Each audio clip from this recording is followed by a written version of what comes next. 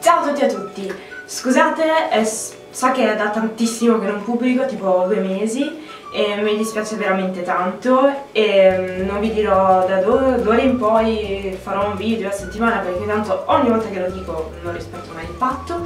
Cercherò di pubblicare insomma il più possibile con una frequenza ordinaria, ordinata, non, non mi viene la parola, cominciamo male, sì. Comunque, eh, ringrazio, ehm, non mi ricordo i nomi, eh, non ho guardato su YouTube, però ci sono state due persone che mi hanno chiesto di pubblicare il seguito eh, della Torre Nera e ringrazio queste due persone. Mi fa veramente tanto piacere sapere che qualcuno apprezza almeno un po' quello, quello che faccio, quindi grazie a voi. E riprendo, cerco di riprendere dove abbiamo lasciato. Allora, un piccolo appunto in realtà e sono in Galles, sono, mi sono trasferita in Galles e non ho con me purtroppo i miei libri, per cui non, non vi posso mostrare i, i, libri della Torre Nera.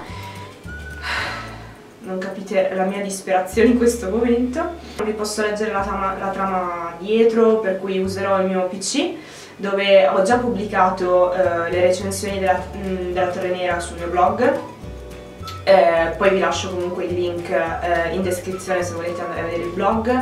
Eh, la torre nera è molto indietro. Fate conto che ho finito eh, la torre il 24 di dicembre e non mi sono fatto un bel regalo di Natale, sia perché ho finito la torre e mh, mm, finire una serie che, che mi ha accompagnato veramente per mesi eh, è stata veramente dura, gli amanti dei libri sapranno, quando a volte capita anche con un singolo libro, con un libro autoconclusivo, una volta finito, ti lascia quel, quell'amaro in bocca che dici adesso devo riprendere con la mia vita.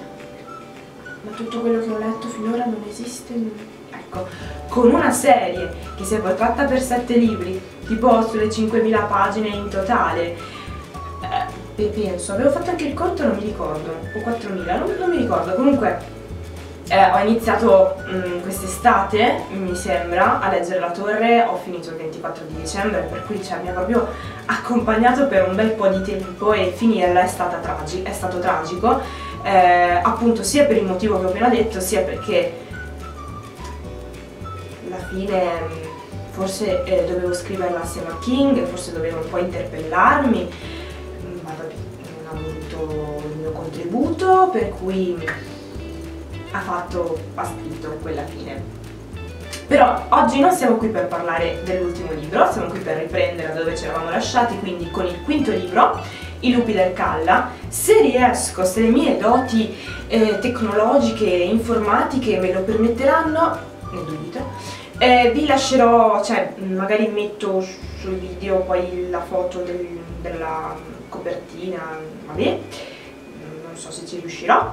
Comunque appunto I lupi del Calla, siamo al quinto libro, eh, il genere è sempre quello, siamo sempre sul fantasy con un po' di western, eh, avventura e quant'altro, e il nostro autore è sempre lui, il nostro Stephen King. Questo libro è stato pubblicato nel 2003, ha 643 pagine, quindi è bello potente, è bello corposo Ehm, vediamo adesso di cosa parla. Vi leggo uh, la trama.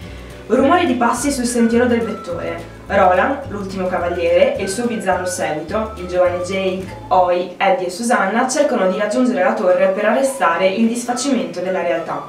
Ma, attraversando le foreste del Calla, una regione del Medio Mondo, si imbattono nella tragedia di una piccola comunità rurale sfinita dalle incursioni di un nemico ignoto e spaventoso. Non sono infatti predoni comuni quelli che scendono dalle, dalle alture circostanti, ma creature dal muso di lupo che assaltano le case con armi invincibili, seminando morte e distruzioni, portando via i bambini a cui fanno qualcosa di orribile. I quattro pistoleri sono l'ultima speranza per il villaggio. Si alleano quindi con il vegliardo, uno che dimostra ne sa parecchio, e si preparano per una battaglia all'ultimo sangue. Allora, eh, parto con... Ultimamente nel mio blog sto eh, analizzando anche diciamo più le caratteristiche estetiche di un libro, quindi la copertina, il titolo, che eh, solitamente mm, non, solitamente non mi faccio influenzare da queste, da queste, caratteristiche, nel senso che a volte ho preso, ho preso, in mano libri con una copertina orribile, con un titolo che non mi diceva niente, ho letto la trama, il libro mi ispirava e l'ho letto. Quindi solitamente non mi faccio influenzare, eh, però ultimamente ci sto, dando, sto, cercando comunque di darci più peso per capire se la copertina è inerente a, al racconto, se il titolo c'entra qualcosa con il racconto, perché ci sono libri che hanno di quei titoli che non c'entrano assolutamente nulla, e, e, vabbè, oppure che non sono originali, che insomma tante cose, quindi eh, cercherò adesso di fare anche questo anche nel, nei video di YouTube. Eh, la copertina di questo libro So, mi ricordo che non mi ha fatto proprio impazzire tantissimo rispetto a, ad altri, ai libri precedenti, insomma, eh, non mi è piaciuta tantissimo, e, mentre il titolo, eh, sì, cioè, nel senso, eh, i lupi del Calla, cosa voleva dire, cos'è il Calla, anche perché mh, mm, per chi di voi insomma ha letto La Torre, eh, Calla e parole simili eh, si, sono, si, ripetono spesso, no? quindi ero curiosa di capire eh, che, che, significato potesse avere il calla, eh, che legame potesse avere con altre parole e tutto quanto. Ero veramente curiosa, ero veramente poi curiosa di scoprire, cioè, sti lupi, ma erano lupi veri? Mm, cioè, strano.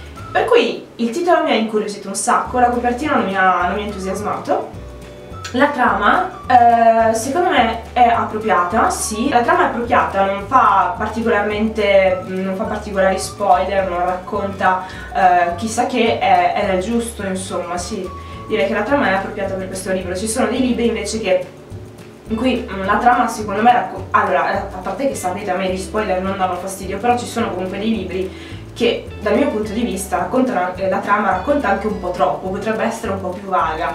Eh, in questo caso direi che secondo me è appropriata, insomma non raccontare troppo né troppo poco, va, va bene. Passiamo quindi al racconto.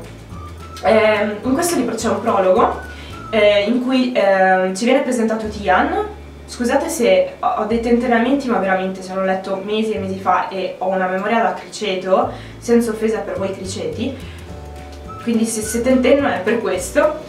Mm, comunque nel prologo ci veniva presentato Tian e mi ricordo che mi aveva fatto una buonissima impressione, eh, tant'è che mm, viene, proprio viene proprio descritto come una persona diciamo un po' più intelligente rispetto agli altri abitanti eh, del Calla, perché il Calla è un, diciamo, sì, una regione del Medio, sì, c'è anche scritto nella trama, in realtà però va. E, ehm, rispetto agli altri abitanti eh, Tian viene descritto come un po' più intelligente, insomma ci arriva un po' prima, un po' più furbetto, eccetera. E anche dal prologo a me era piaciuto tantissimo Tian, tant'è che mi ero fatto delle buone aspettative, delle alte aspettative. Pensavo che avesse un ruolo importante mh, mm, durante tutto il libro. In realtà non è che abbia avuto tutto questo gran ruolo nel libro è stato un po' marginale. Ora, è, tra l'altro, eh, Eddie lo descrive come, spesso come uno zappaterra, perché lì sono tutti contadini, no? Alla fine. E questa cosa non si dice perché eh, venendo dalla campagna, eh, Eddie caro, magari te lo tieni per te, zappaterra. Ma comunque quello che voglio dire è che anche agli occhi di Eddie non è che Tian sembrasse questo acume di intelligenza, eh, no e, e, infatti durante, poi me ne sono resa conto dopo che alla fine del libro ho detto ma che cacchio, però nel prologo era descritto come insomma uno che ci arrivava anche. In realtà a me sembra abbastanza della media, vi dirò anzi che ci sono dei personaggi durante questo libro che eh, secondo me erano anche un po' più intelligenti di Tian, cioè secondo me Tian era un ingenuotto, ok? Che abbia avuto la brillante idea eh, di andare contro i lupi cioè bisogna darne atto, per carità, tutti i fifoni, però lui niente, voleva contrastare i lupi, sicuramente su questo non l'ha da dire, però mi aspettavo comunque un, um, un ruolo un po' più importante, è sempre stato un po' sullo sfondo, a parte in, in alcune parti, ma niente di che, quindi rispetto al prologo mi aspettavo un po' di più, mi aspettavo fosse il, boh, il quinto eroe, eh, beh, considerando, aspetta, però Eddie Jake, Susanna, poi, quindi no poi è un eroe, per cui il sesto eroe eh, della torre, almeno in questo libro, invece, invece no, invece no. Poi ci viene presentato un personaggio che scoprirete sarà molto molto importante che è padre Callan. Vedete? Calla, Callan, cioè King sei un cazzo di genio. E, um, mi ricordo che in questo libro padre Callan mi ha incuriosito tantissimo. Cioè, qua tirano fuori i vampiri, ragazzi. Cioè, assolutamente inaspettato di trovarmi dei vampiri mh, mm, in questo tipo di racconto. Cioè, ho visto mai, avevo, pensavo di aver visto di tutto, invece no, non sono ancora finite le sorprese, i vampiri. Quindi assolutamente Padre Callan mi ha incuriosito tantissimo e, ehm, ed è stato un buon personaggio. Parlo anche col seno di poi, avendo già letto tutti gli altri libri, l'ho amato l'ho amato, l'ho apprezzato, l'ho apprezzato molto. Non l'ho amato a livelli degli altri, però l'ho apprezzato molto, è stato un bel personaggio e chi ha letto altri libri di King forse Padre Callan l'ha già incontrato. In questo libro poi emerge ancora di più il, chiamiamolo, potere eh, di Jake, il tocco. Eh, il tocco che c'era già stato, diciamo, introdotto da Roland quando ha parlato di Elaine ed è veramente secondo me un bel potere, sempre con virgolette, ok? Quando dico potere prendetelo con le pinze. Ehm, perché non è solo la capacità di leggere nella mente, banalmente leggere nella mente degli altri, ma proprio di sentirli, sentire anche se sono a chilometri di distanza, sentire i loro sentimenti, cosa provano, se hanno paura, se sono felici, se sono in pericolo e, e, e questo grazie a quel legame che c'è tra questi cinque personaggi, cioè è veramente una cosa...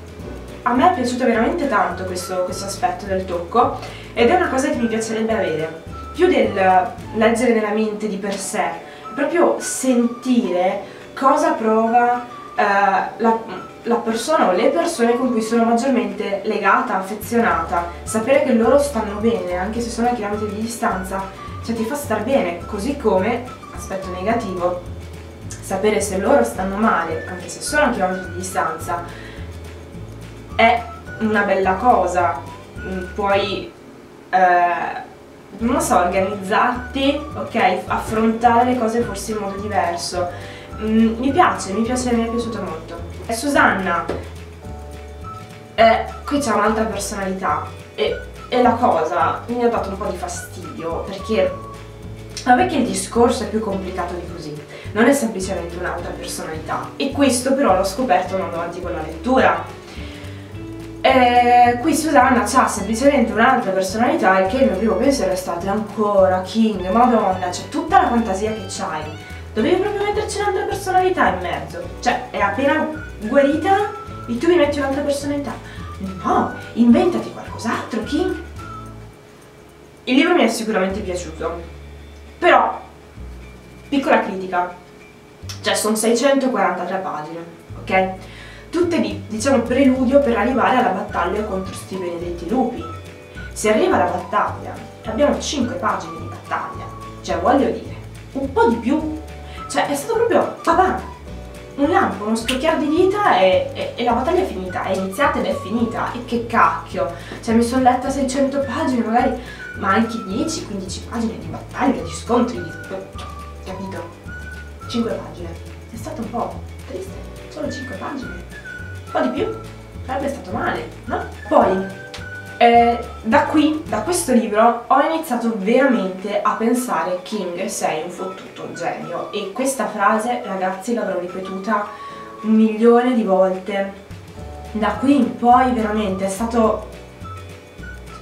Dovete dare atto al, al genio di King. Io ho sempre apprezzato i suoi libri, ne ho letti tanti ma nemmeno troppi considerando tutta la sua biografia e, e veramente ma con la torre è stato un vero, un vero genio. Fa proprio capire che la torre racchiude, se non tutti, ma tanti, veramente tanti, uh, analogie con i suoi libri, ok?